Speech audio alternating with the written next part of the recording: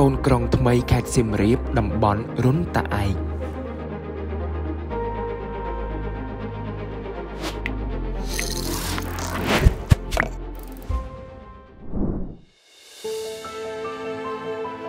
តំបន់រុនតាឯកនឹងក្លាយទៅជាតំបន់ធម្មជាតិដែលមានការអភិវឌ្ឍហេដ្ឋារចនាសម្ព័ន្ធផ្លូវថ្នល់ទឹកភ្លើងផ្សារសាលារៀនមន្ទីរពេទ្យនិងតបជាប់បណ្ដាញអគ្គិសនីបង្កើនប្រព័ន្ធអ៊ីនធឺណិតជាដើម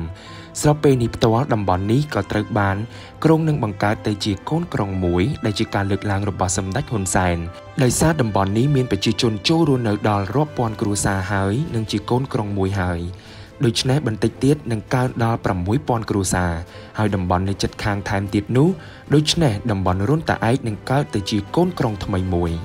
តំបន់នៃភូមិរុនតាឯកនេះស្ថិតនៅចម្ងាយប្រមាណ30គីឡូម៉ែត្រភាគឦសានពីទីរួមខេត្តសៀមរាបស្ថានភាពភូមិសាស្ត្រនៅទីនោះមានសក្តានុពលសម្រាប់អនាគតនិងរស់នៅជុំវិញ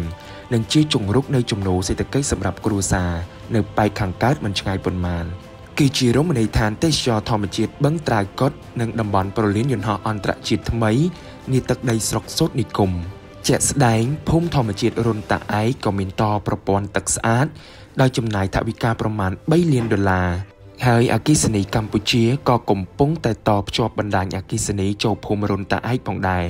ដើម្បីធ្វើយ៉ាងណាអភិវឌ្ឍតំបន់នេះឲ្យទៅជាកូនក្រុងថ្មីមួយទៅថ្ងៃអនាគតហើយអ្វីដែលគួរឲ្យកត់សម្គាល់ពលរដ្ឋដែលស្ម័គ្រចិត្តចាក់ចេញពីតំបន់រមណីយដ្ឋានអង្គរទៅរស់នៅភូមិធម្មជាតិរុនតាឯកក៏បានបញ្ជាក់ថា ជីវភាពរស់នៅប្រចាំថ្ងៃគឺធូរធារដោយសារតែមានដីសម្រាប់ធ្វើកសិកម្មនិងប្រើប្រាស់តាមតម្រូវការដែលនេះគឺជាប្រយោគចេញផ្សាយដោយក្រសួងបរិស្ថាននេះគឺជាកូនក្រុងថ្មីមួយអនាគតនៃកូនក្រុងខេត្តសៀមរាបភូមិរុនតាឯក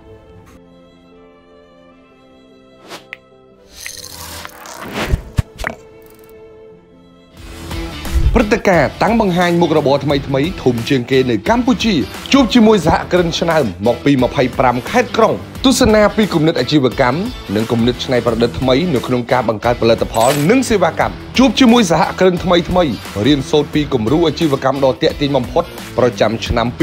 2022នៅក្នុងព្រឹត្តិការណ៍ដ៏អស្ចារ្យនេះក៏មានបញ្ចូលនៅសិក្ខាសាលា ស្ដីអំពីយុទ្ធសាស្ត្រនៃការគៀងគោទុនដើម្បីពង្រីកអាជីវកម្មដែលបង្រៀនដោយអ្នកជំនាញល្បីៗ